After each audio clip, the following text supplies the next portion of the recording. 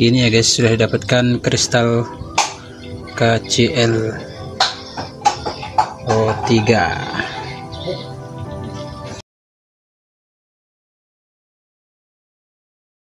langkah pertama yang harus kita lakukan eh, dalam pembuatan atau mengekstrak pupuk KCl menjadi KCl O3 itu pertama eh, pupuk KCl nya kita murnikan terlebih dahulu guys dengan cara dipanaskan ya guys ya.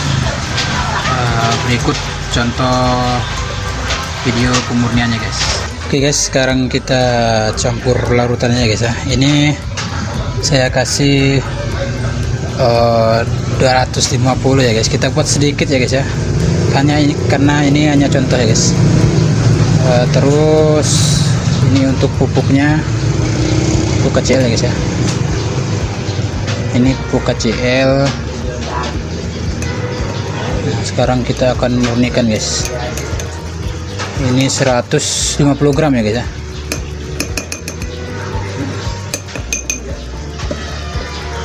Kita masukkan guys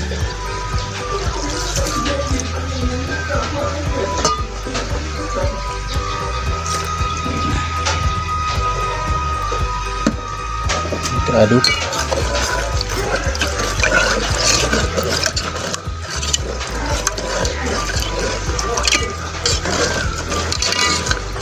situ kita panaskan guys. Lanjut guys. Saya pergi ke kompor guys ya. Nah ini kita siapkan kompornya guys ya. Uh, ap, gunakan api biru saja guys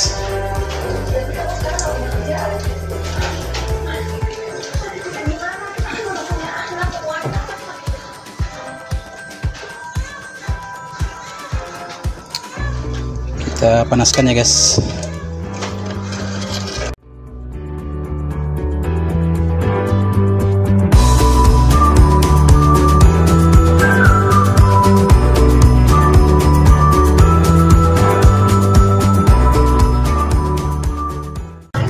Jangan lupa pakai masker ya guys ya. Karena ini menghasilkan uap klorin ya guys. E, itu sangat menyesap guys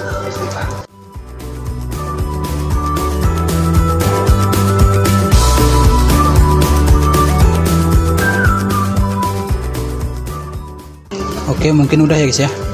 Sudah berasap juga ya. Sekarang kita lakukan penyaringan guys. Oke guys sekarang kita akan lakukan penyaringan guys ya. Uh, gunakan kertas saring ya guys ya atau kalau tidak ada kertas saring pakai kertas biasa juga tidak apa-apa guys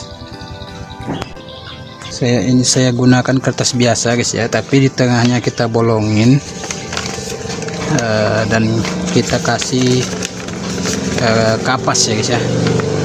Seperti ini guys ya. Terus ini ini kita kasih lubang. Disobek aja guys. Karena saya tidak ada kertas saring saya karena untuk mempermudah teman-teman ya jika tidak ada kertas saring ya. Kasih bolong gini terus kita kasih kapas ya guys. Yang mudah didapat ya guys ya.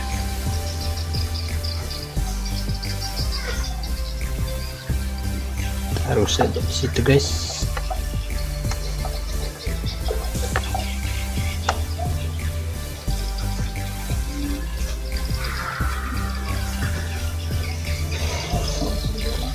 oke okay, guys ya. Nah, setelah itu baru kita tuangkan ya guys.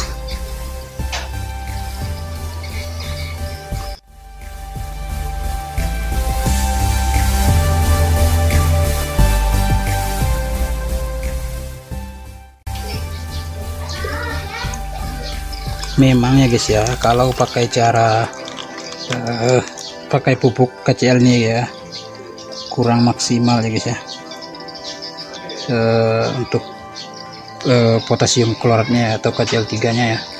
Tapi karena kita ini kita gunakan untuk tanaman ini tidak masalah ya guys ya.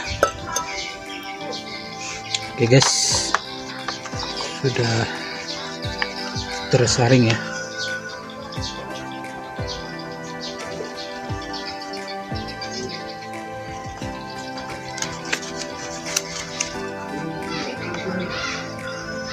oke. Nah ini hasil saringannya ya guys ya.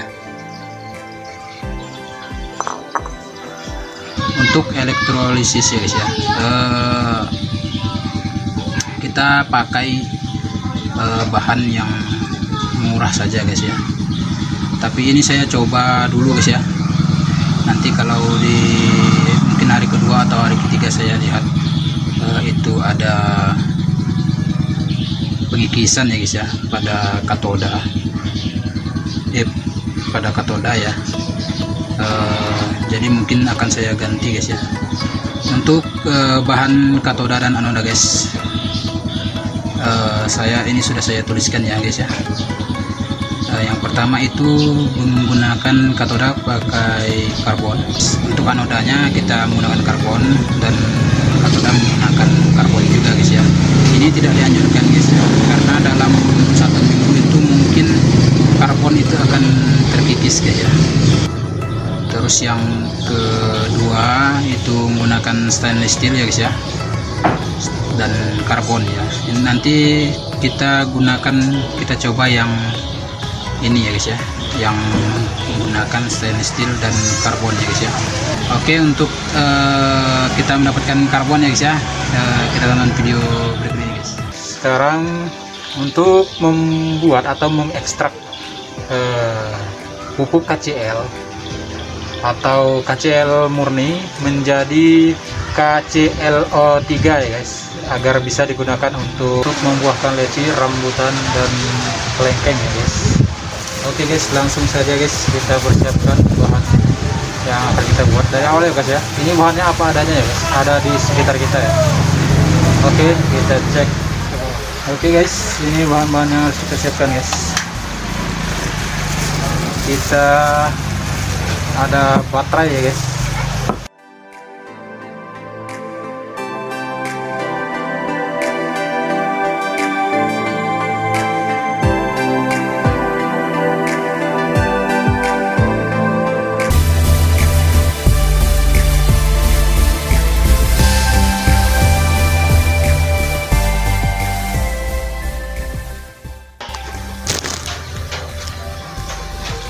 Oke guys, sekarang dua buah batang karbon telah didapatkan guys.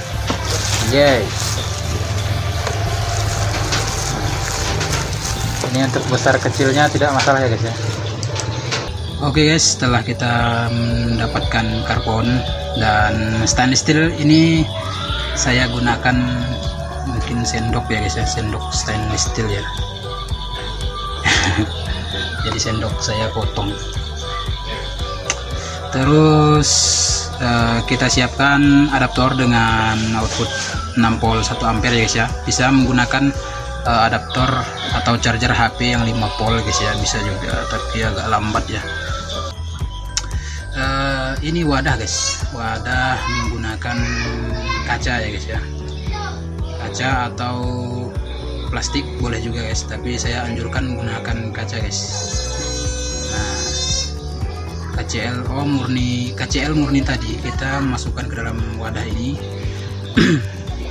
Nah di dalam wadah ini setelah uh, unsur pembentuk KCL itu ada uh, 2 NaCl ada 3 NaClO dan NaClO3 ya guys ini kita pecah nanti.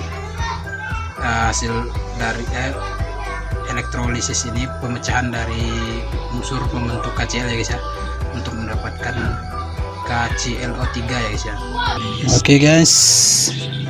Ini hasil kit karbon yang kita dapatkan dari baterai ya guys ya.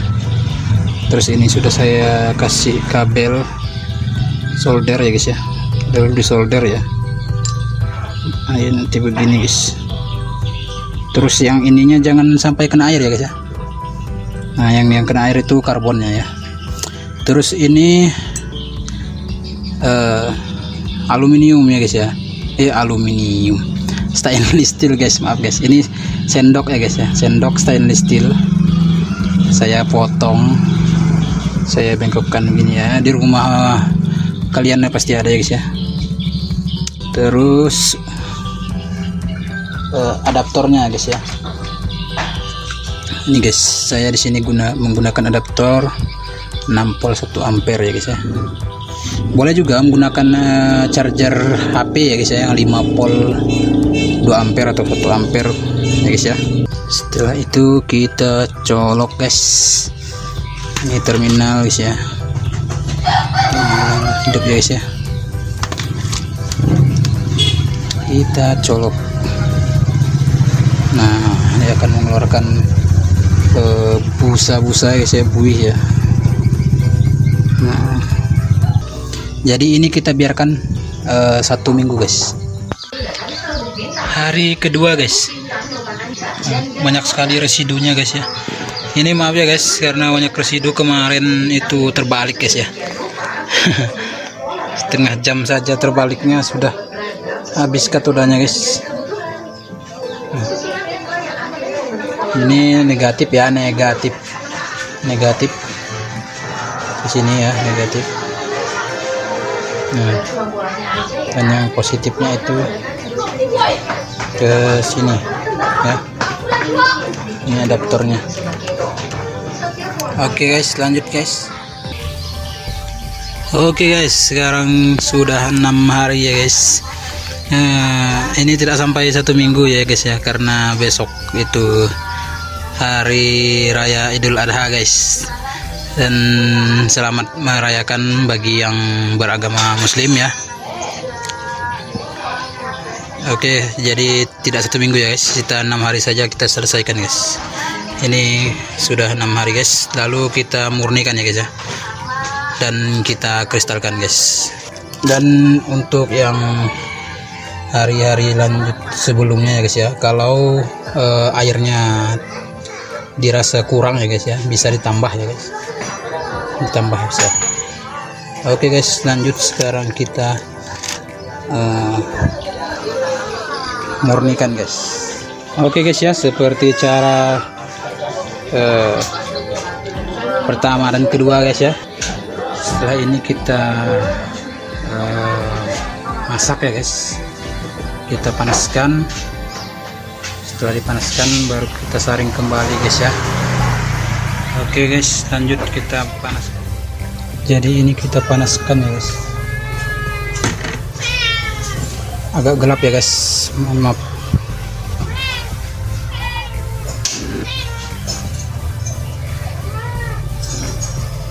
Gunakan api biru saja guys. Kalau dirasa kurang air tinggal kita tambah air guys. Oke guys ya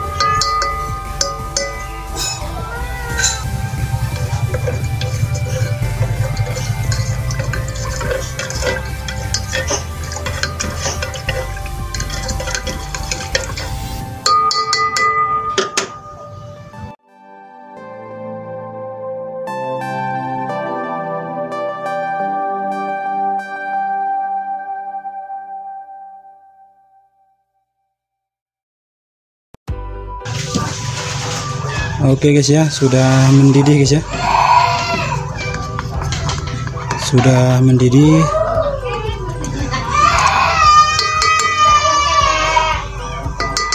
Jadi kita angkat guys. Lanjut kita saring guys ya. Ini ya guys, setelah dimasak tadi ya, setelah itu disaring tapi kita nyaring pakannya menggunakan tisu ya jadi tidak benar-benar bersih ya guys. Nah ini dilihat dia mulai mengkristal guys. Nah, kristalnya berbintik-bintik ya guys. Berkinar-kinar.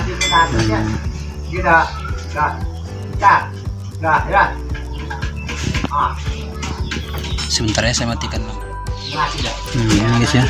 Setelah dimasak setelah dielektrolisis habis itu dimasak habis itu disaring ya. Nah, ini mulai membentuk kristal-kristal ya guys ya. Nah, jangan disaring dulu ya guys. Dimasak dulu baru disaring ya.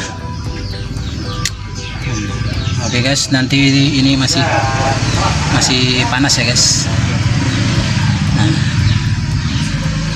nanti setelah dingin dan mengkristal kita saring kembali dan kita ambil yang bagian atas ya guys. Habis itu kita jemur ya. Oke guys. Oke guys. Setelah dingin guys. Nah ini ya guys sudah mengkristal ya.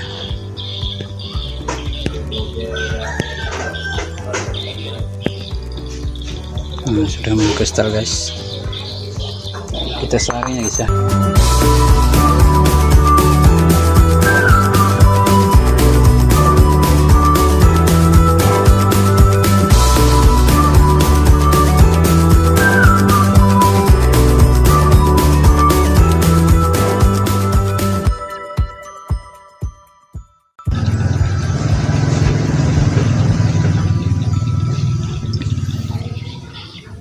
ini ya guys sudah dapatkan kristal KCl O3 ya. Ini kita keringkan guys. Nah.